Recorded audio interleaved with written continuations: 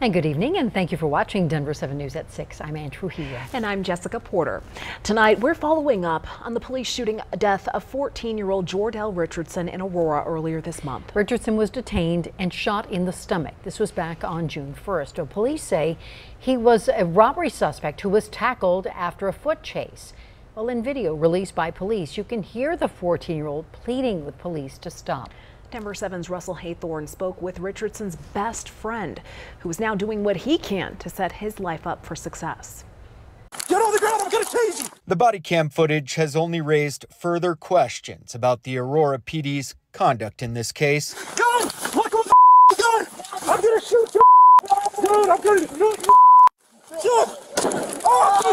Oh, I feel like it shouldn't have happened because at the end of the day, they, he did give up. Laurice Wilson is 14-year-old Jor'Dell Richardson's best friend and is only now speaking out about the fatal shooting that took his friend's life earlier this month. I'm here because of uh, Jor'Dell. I'm here also because I know that if I keep going down the wrong path, that not a lot of things, got good things is to come out of it. Laurice says it's still surreal. I'm just still trying to get over that, the fact that he's actually gone. Like I can't go over to his house and spend one more night with him, eat, eat another meal with him, uh, go hoop one more time with him. I can't go back to preschool where we was playing around as kids no more. I can't do none of that. And I'm just sitting here thinking like, damn, like, He's really gone now. How are you going to stand out? Less than a month after the shooting, Laurice has enrolled in this leadership camp. It's not something that you can just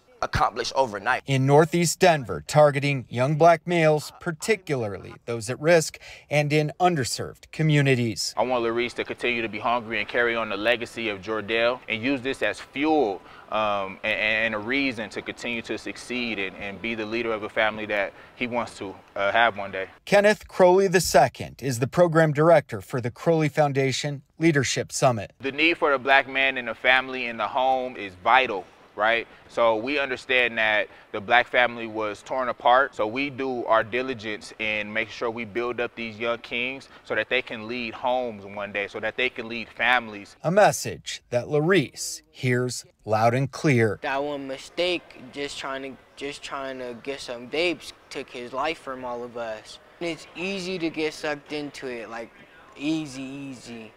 And a lot of people think like, oh, it's fun and it's not. In Denver. This is going to get you into scholarships, high school, college. Russell Haythorn, Denver 7.